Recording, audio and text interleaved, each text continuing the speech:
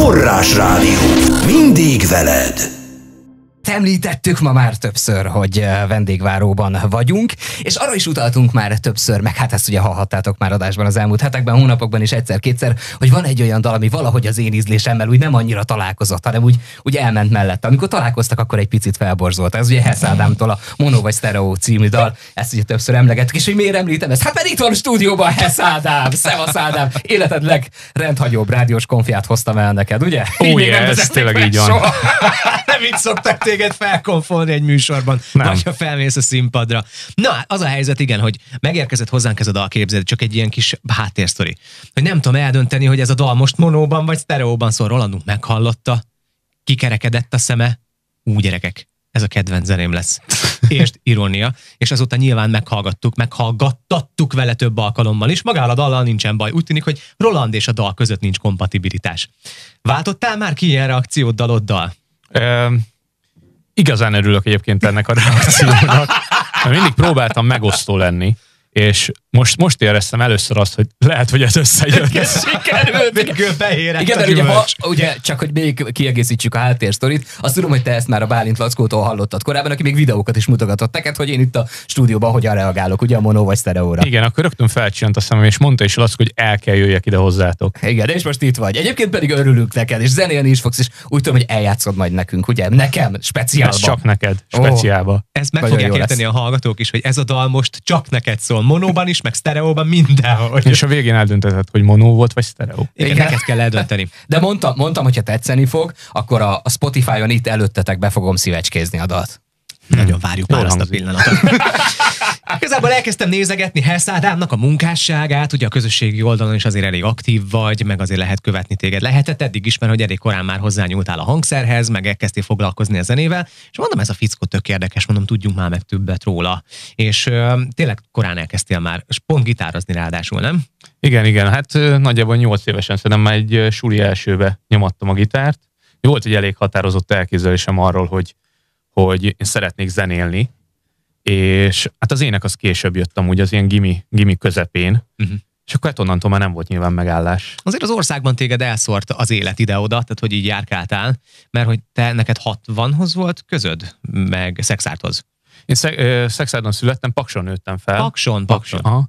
Ja, ja, ja, Pakson nőttem fel, és mai napig egyébként elég sok koncert van ott, úgyhogy ez tök jó hely. Én mindig ilyen uh, gyökerek oda kötnek, úgyhogy, úgyhogy nagyon komázom.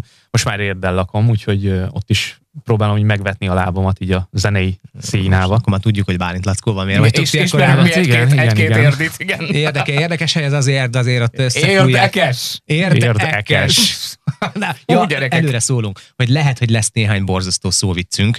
Már volt a Pokémonóban. Igen, mert ugye Pokémonok. Pokémon, kártyá, Pokémon kártyák szóba kerültek, és akkor mondtam, hogy ebben az órában eldöntjük, hogy ez a dal Pokémonó vagy Stereóban szól. Aha. ne haragudj, hogyha egy-kettő ilyen lesz. Budapestre fúj téged a szél, és akkor ott elkezdtél formációkat is létrehozni, és ebből lett aztán a végén a, a Hess Ádám akusztik, ugye, ami most jelenleg Igen, aktualitás. igen. Illetve hát van, amikor elhagyjuk az akusztikot, leginkább amikor ezek a popos uh, sztorik szólalnak meg. Uh, és uh, igen, a Hessadam akusztik az úgy jött, hogy mindig közel állt hozzám az akusztik uh, világ, és akartam egy olyan formációt, amikor nincsen elektronika. Aztán uh, nyilván, hogy én is uh, változtam, és így uh, egyre több impulzusért elkezdtünk belecsempészni így elektronikát, már így zenekaros szinten is. Tehát most a zenekari verzió se annyira akusztikus, rendes nagy dobfelállás van, basszusgitár, zongora, ami azért hoz egy akusztikusságot, meg hát nyilván az akusztikus gitár, meg az ének. Úgyhogy ö, tehát ilyen kicsit mix a sztori. De egy- egyébként mit tapasztalsz te Ádám személy szerint, hogy erre, mintha én legalábbis azt tapasztaltam, mintha az elmúlt években, meg, elmúlt években megint egyre nagyobb ilyen fogadókészség lenne a közönség részéről. Tehát, hogy Igen. ezek a, a haknik, amik mondjuk egy 10-15-20 évvel ezelőtt nagyon divatosak voltak, azok mintha egy picit így kikopóban lennének, hogy akkor egy éjszaka alatt három-négy ilyen fél playback vagy full playback fellépést ledarálni. Hát ennek én örülnék legjobban, ha ez így lenne amúgy. Ö, a, abszolút pozitív így a közönség részéről visszajelzés. Kivéve engem. Ki, igen, ezzel semmi probléma. Őt majd nem hívjuk meg a bulira. Te otthon maradsz, és hallgatod repeat, repeat rállit. Igen, a legkülönlegesebb felkonfot fog ilyeneket hozni, ezt megígérhetjük. Igen, szóval, hogy van, van visszajelzése ennek kapcsán, hogy akkor tényleg szeretik az emberek ezt a fajta muzsikát. Abszolút, abszolút. Amúgy ennek ellenére szerintem a haknik mennek még nyilván, mert Uh-huh. um, már nem, a, nem az én részemről.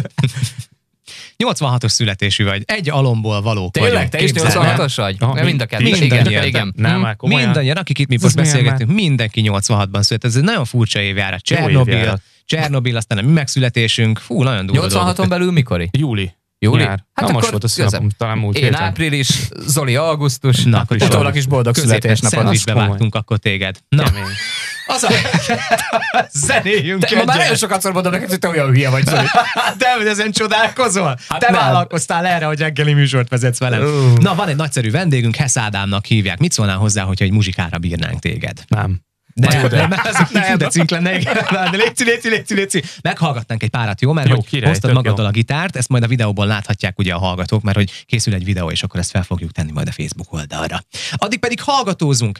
Rád bízom. Hesz. Ádám tehát ma reggel a vendégünk. Akkor most rögtön zenéjünk élőben? Most rögtön Jó, van, utána pedig akkor jön majd a nem volt választásunk, ami ugye a vadonatúj dal az mikor egy hetes? Hát ropogós. Most már lehet, hogy kettő és fél. Aha. Na, de ott nagyon-nagyon friss, tehát egy júliusi. Igen. Na, de akkor most előtte még itt, itt élőben, jó? Micsoda lány lesz a dal címe. Micsoda lány, az akkor nem rólam szól. Nem.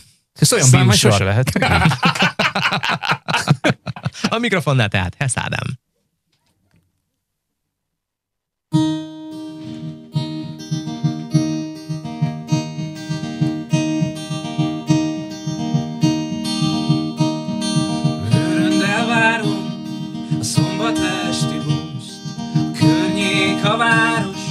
Régen elfelejtett módát fog.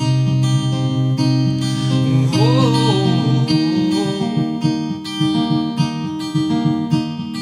Tízből kilencszer legalább van helyem Egymás mellett állunk, de semmiképp sem állunk kedvesen